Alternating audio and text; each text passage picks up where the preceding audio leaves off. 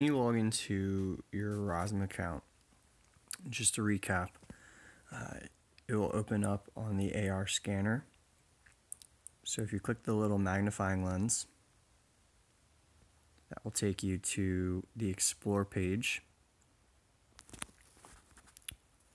In the last video,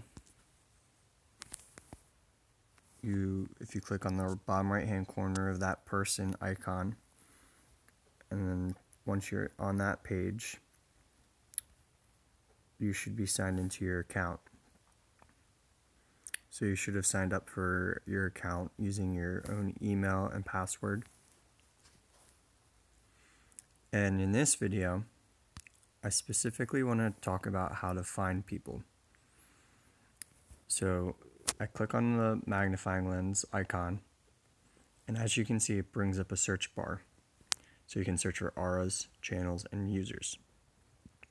In order to access another person's aura or AR, you must search them and you must follow them or follow their channel.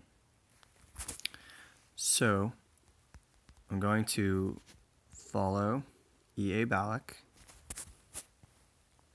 You can see there are a list of options here. So I'm going to click EA Balak's public auras. By doing that, you can also see the ones that I've made public.